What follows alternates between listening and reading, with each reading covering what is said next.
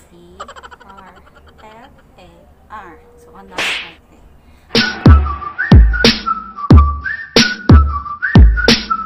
Hi guys! Welcome back ulit sa aking channel. So, ngayon, for today's video, ang itatopic natin is yung LDR. Kung sino may LDR dyan, may mga tips ako para sa inyo. So, tune in lang kayo at mag-subscribe na kayo sa aking channel kung hindi pa kayo nakasubscribe. So, guys, yun na nga. Uh, meron ako dito ang mga nakalagay. May notes ko yung mga share kong advice para po for LDR, kung paano ba nag-work yung LDR. Um, tulad ko, isa akong LDR. So, LDR kami ng asawa ko, ng mister ko. So, napakahirap din maging LDR na hindi kami magkasama lagi. So, ito na nga ang aking mga tips na sinulat ko nung isang araw pa na isa-share ko sa inyo na sana uh, ma-apply nyo sa relationship nyo at makatulong to ito para maging matatag ang relationship nyo being LDR, ba? Diba?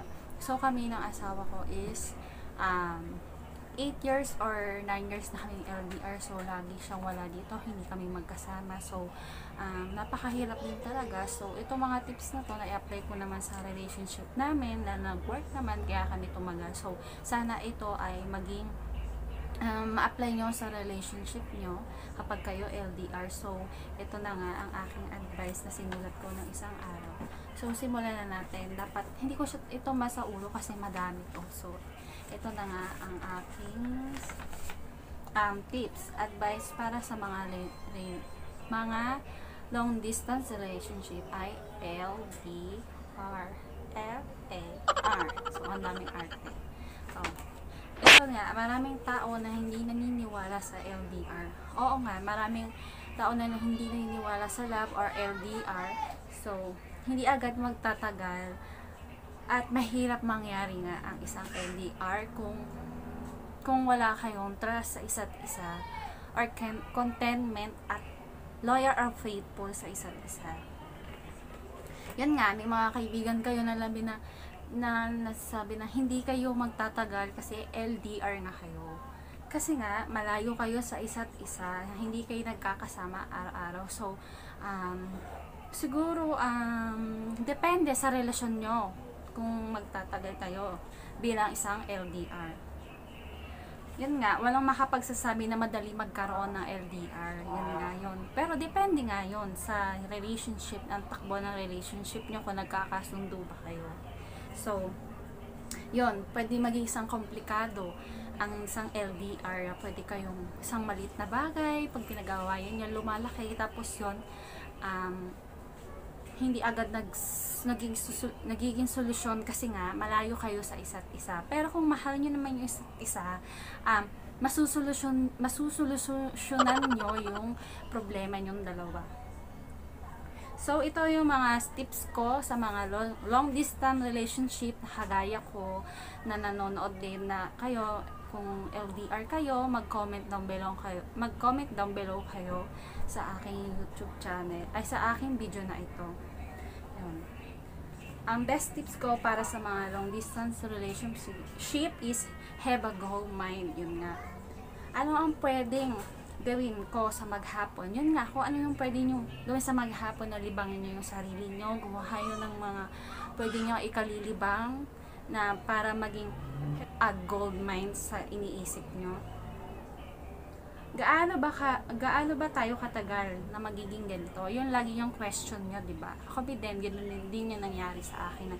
Iniisip ko kung gaano kami magiging matagal ng asawa ko paano yung para sa future. Sa pa, para sa future kasi, ayon, iniisip ko minsan paano yung future namin. So, iniisip ko kaya siguro nandun siya sa malayo para din sa future ng mga anak ko, para sa future naming pamilya. So, yun na lang iniisip ko kasi um, pinili niya yung maging LDR kami kasi yun ang trabaho niya. Yun, ito yung mga tanong na dapat mo nang itanong sa sarili mo ang, toto ang totoong walang magkarelasyon na nagtatagal sa long distance relationship. Yun nga yun, ang depende nga yun sa relationship niyo kung magtatagal kayo. Tapos, yun nga, darating din yung time na magsisettle down kayo. Hindi naman lagi na long, long distance relationship kayo eh. Na, yun nga, dadating yung time na magkasama kayo lagi, na hindi, yan, long distance relationship, magsisettle down kayo, magpapakasal kayo, magkakapamilya kayo. Pareho kayong gustong makuha sa pagdating sa dulo, mahalaga ito kahit hindi kayo magkasama at malayo kayo sa isa't isa. Na kahit papano ay nag-work kayo pareho sa future na gusto niya. Yun na nga yun, yung um, yung yung mag-ano kayo, um, tawag doon, kahit pa paano mag-work kayo ng pareho sa future nyo. Yun yung iisipin nyo lagi, yung future nyo lagi, para mag-work lagi ang long, distance relationship nyo, kung bakit lumayo siya at trabaho ang ginawa niya doon sa ibang bansa. Kunyari, sa ibang bansa siya pumunta, yun, iisipin nyo din lagi yung future nyo. So, yun na nga guys. And number two, set some gra- ground rules to manage your expectation. Yun, yung expectation nyo sa bawat bawat isa. Pareho na kailangan yung maging malinaw na kung ano ang inaasahan sa isa't isa kasi nasa LDR nga kayo. Pag wala kayong ginagawa, pwede kayong mag-banding o mag-surprise ang isa't isa. Pwede kayong mag-banding, mag-surprise sa isa't isa sa set some ground rules to manage your expectation nga. Minsan huwag kayo mag-expect minsan.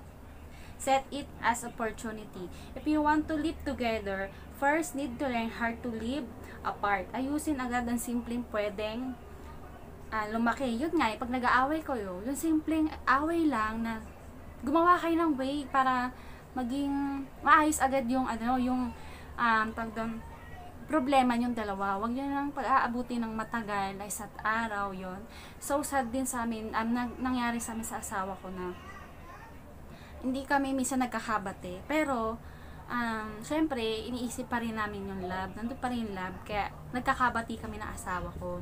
Yun, nakakalungkot minsan na hindi kami nag, uh, ano, nag, babati na isang araw. Pero yun, after no isang araw na yun, kinabukasan agad, um, nagkabati naman kami. Wait lang guys. Yun.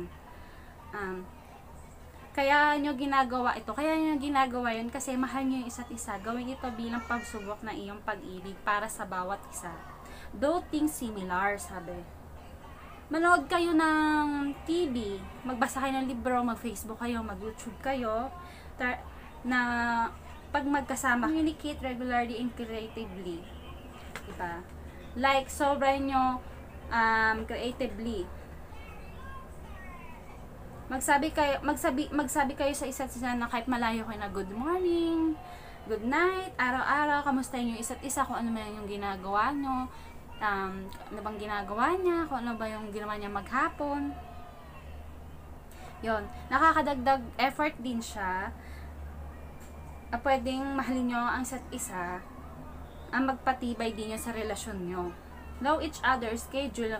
Ito ang pinakamahalaga sabihan niyo isa't isa kung ano nangyayari, kung ano yung ginagawa, kung ano ba yung schedule niya sa trabaho, sa pag-aaral, kung ano yung ginagawa niya, lahat yun. Dapat alam mo kung kailan siya busy. Hindi yun lagi na kung kailan siya busy, tsaka mo siya uh, i-istorbohin. Dapat meron tayong mga ganun na alamin natin kung ano yung time na pwede siya kausapin o pwede kayong mag-usap.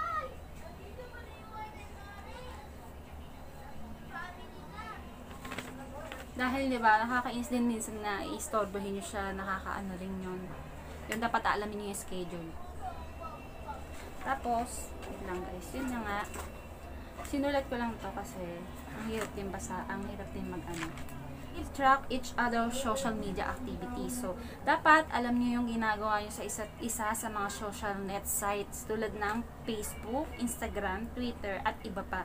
At, at dapat alam niyo yung account ng um, boyfriend nyo or asawa nyo. Wait lang guys, mainit.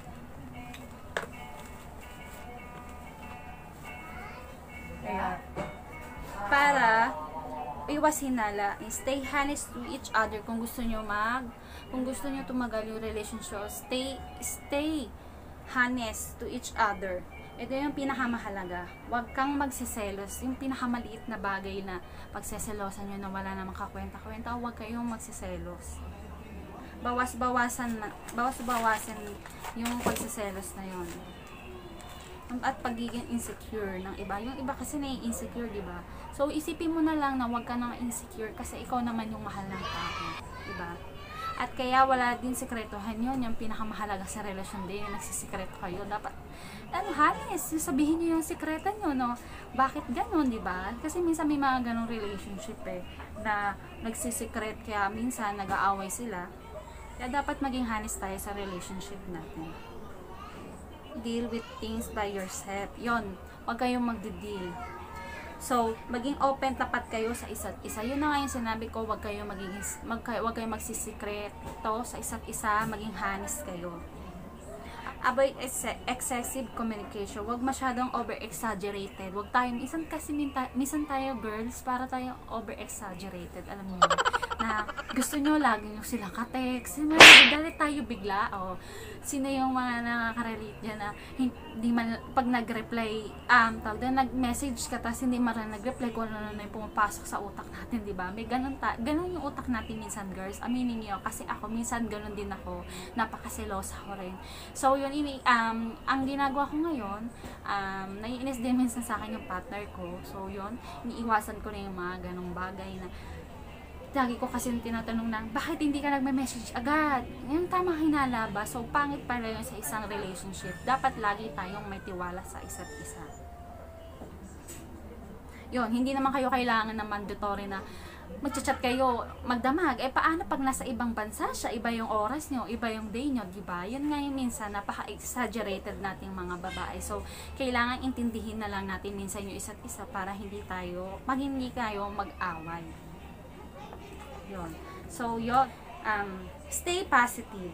Maging open-minded ka lagi. O, kayong dalawa. Maging open-minded kayo lagi kung ano man yung um, yung sa relationship nyo, kung ano yung mga dapat gawin, o like yung yung open-minded ka kung ano yung ginagawa niya, kung ano yung ba yung uh, mga pwedeng uh, tawag doon um, open-minded ka lagi sa mga ginagawa niya, yun na yun guys. Plus mag Okay, ito guys, ito, ito rin idadagtag to. Trust. Yung trust nga, magtiwala kayo sa isa't isa, yun lang.